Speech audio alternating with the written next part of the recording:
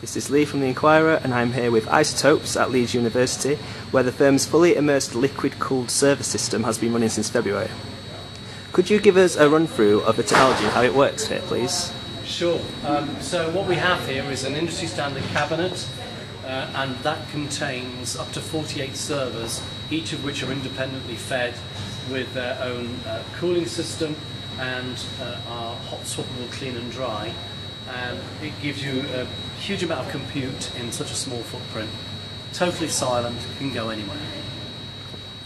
So could you uh, explain sort of how the technology works inside and what's going on? Sure. Um, what we've got is uh, at the top of the system we have power distribution, so we're distributing power to each of three independently fed module centres, each of which have their own liquid cooled power supplies, and then we can get eight servers in each of the chassis.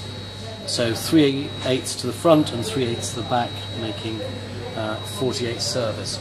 Um, each server is a two socket system, and the, the, electronics are actually immersed in a liquid called Novec from 3M, and that convects, naturally convects the heat away from the electronics to an integrated cold plate, and then you can just see the pipe work at the back.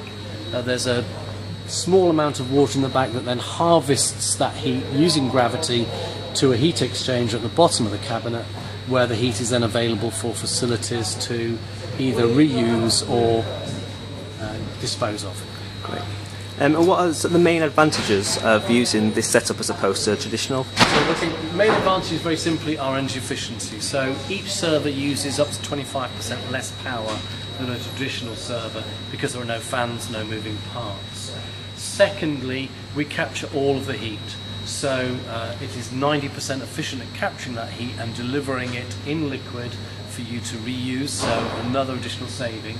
And as you can hear, well you can hear a lot of noise because this is a lab, but actually this system makes no noise, just two moving parts, two small central heating pumps in the bottom of the cabinet circulate the water, so it is the most energy efficient solution on the market available today.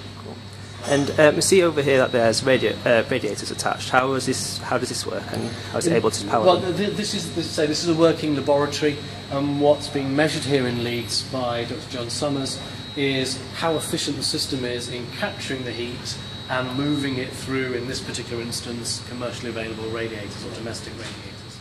So the idea very much is that I can, because we're capturing heat efficiently and we're talking about temperatures of up to 50 degrees Celsius, that heat can be reused.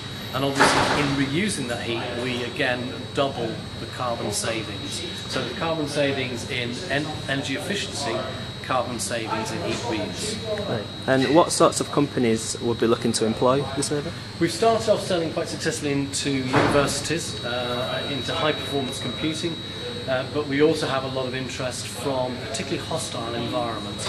If you think about it, the system is immune to uh, humidity, it doesn't breathe air, so it doesn't matter what the environmental conditions it's going into from an air pollution perspective.